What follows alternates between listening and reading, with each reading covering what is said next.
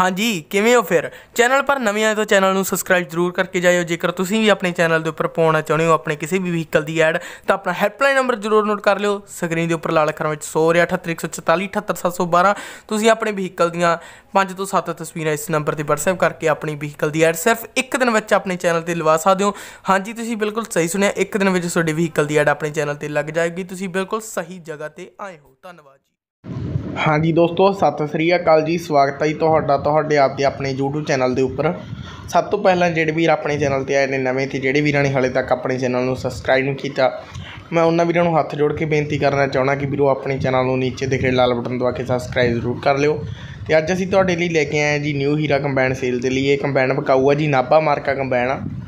Colour paint ਤੁਸੀਂ ਦੇਖ ਹੀ ਸਕਦੇ ਹੋ ਕੰਬਾਈਨ ਦਾ, ਬਾਕੀ ਜੇਕਰ ਕੋਈ ਵੀ ਵੀਰ ਇਸ ਤਰ੍ਹਾਂ ਆਪਣੀ ਕੰਬਾਈਨ ਦੀ ਜਾਂ ਹੋਰ ਕਿਸੇ ਵੀ ਵਹੀਕਲ ਦੀ ਐਡ ਪਾਉਣਾ ਚਾਹੁੰਦਾ ਹੋਵੇ ਤਾਂ ਆਪਣੇ ਹੈਲਪਲਾਈਨ ਨੰਬਰ ਨੀਚੇ ਪੱਟੀ ਤੇ ਸ਼ੋ ਹੋ ਰਹੇ ਨੇ।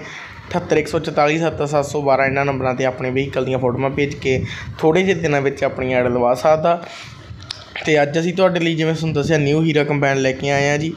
2011 ਮਾਡਲ ਕੰਬਾਈਨ ਆ ਜੀ ਓਰੀਜਨਲ ਆ ਸਾਰੀ, ਨਾਲ ਦਾ ਰੰਗ ਪੇਂਟ ਆ ਐਚ ਆਰ ਹਰਿਆਣਾ ਨੰਬਰ ਹੈ ਤੇ ਬਾਕੀ ਸਟਿਪਨੀ ਦੇਖ ਸਕਦੇ ਹੋ, ਵੱਡੀ ਛੋਟੀ ਸਟਿਪਨੀ ਨਾਲ ਆ ਜੀ ਕੰਬਾਈਨ ਦੇ ਤੇ ਮਾਲਕ ਵੀਰਾਂ ਵੱਲੋਂ ਕੰਬਾਈਨ ਦੀ ਪੂਰੀ ਗਾਰੰਟੀ ਆ 9 ਲੱਖ ਰੁਪਏ ਡਿਮਾਂਡ ਆ ਕੰਬਾਈਨ ਦੀ।